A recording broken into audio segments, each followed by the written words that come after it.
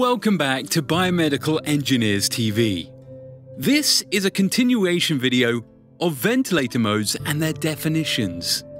I suggest you, if you are watching this video for the first time, please begin with the part 1 of this series so you can understand ventilators in a better manner and in a simplified way. Let's begin this video with spontaneous assisted ventilation. During the spontaneous ventilation modes, the patient carries out the majority of the breathing effort. The pressure level PEEP at which spontaneous breathing takes place can be adjusted. In all spontaneous ventilation modes, the spontaneous breaths can be supported mechanically.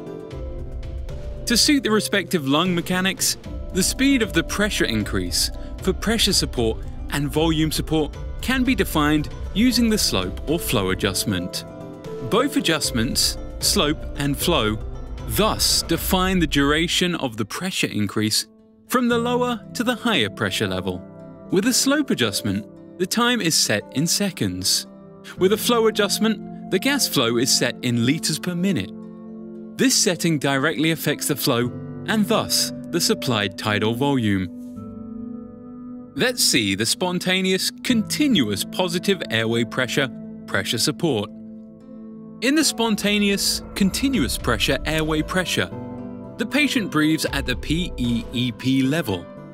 Compared to the atmospheric pressure, the airway pressure is increased during the complete breathing cycle, that is during inspiration and expiration. If the patient is too weak to manage the complete breathing effort independently, there is the option of pressure support. Every detected inspiration attempt at PEEP level triggers a patient-triggered, flow-cycled, pressure-supported mandatory breath.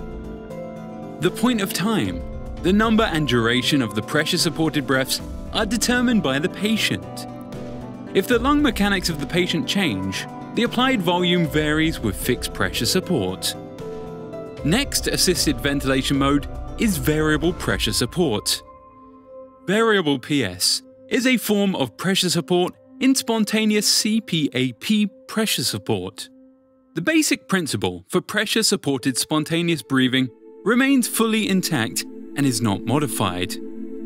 When activating variable pressure support, different pressure support levels are applied for each breath.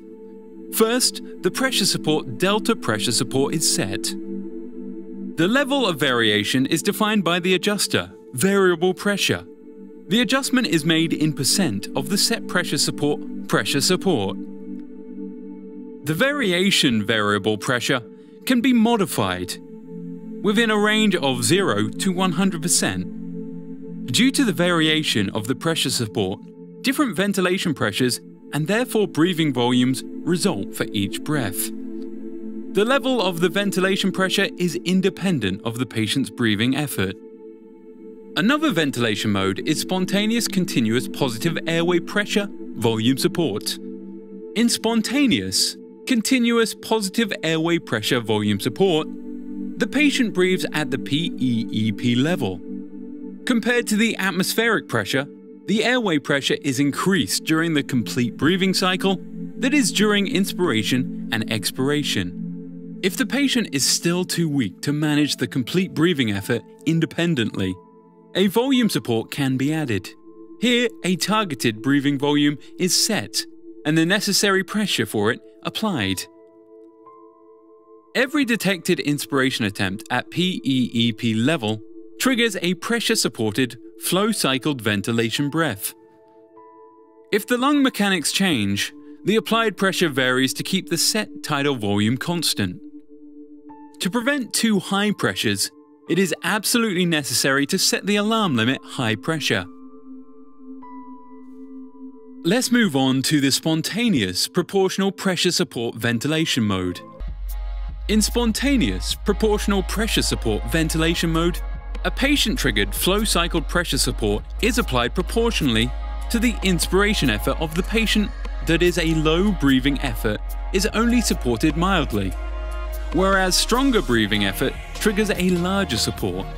The absolute level of the support depends both on the configuration of the parameters flow assist and volume assist and the patient. The two types of pressure support, volume proportional pressure support volume assist and flow proportional pressure support flow assist, can be used in combination. With volume assist, the elastic resistance can be compensated, whereas flow assist helps overcoming the airway resistance. This was the spontaneous ventilation mode. Let's move on to the neonatal ventilation modes. Let's begin with neonatal spontaneous, continuous positive airway pressure. In neonatal spontaneous, continuous positive airway pressure, the patient breathes at the PEEP level. Compared to the atmospheric pressure, the airway pressure is increased during the complete breathing cycle, that is, during inspiration and expiration. The user can apply mandatory breaths by pressing a button. The constant pressure level of these mandatory breaths is set with an inspiratory mandatory pressure. Inspiratory mandatory time defines the duration of the mandatory breaths. Next neonatal ventilation mode is neonatal pressure control, high frequency oscillation.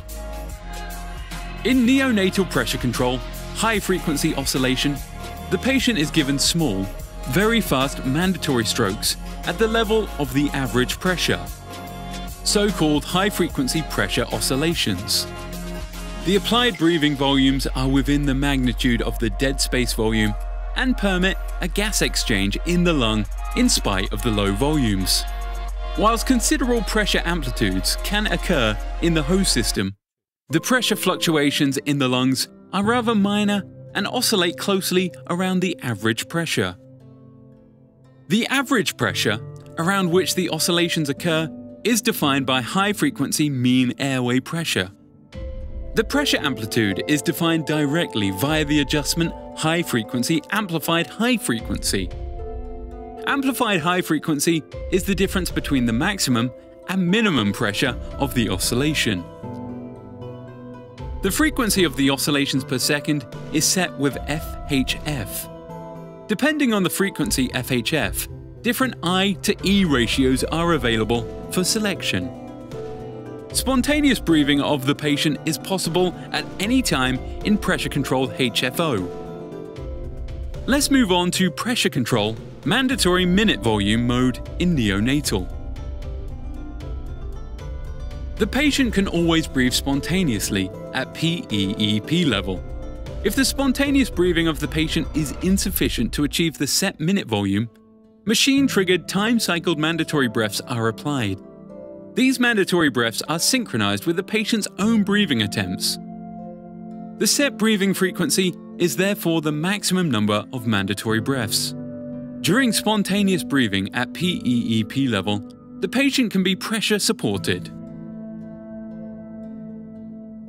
As we conclude this ventilation mode and definitions episode, all these modes are available with different manufacture with different terminology, only engineers to understand how the setting changes the ventilation patterns. I hope I kept it simple for you to understand ventilation mode. Next video, we will cover ventilator external attachments and these applications. Keep watching Biomedical Engineers TV. See you guys in the next video.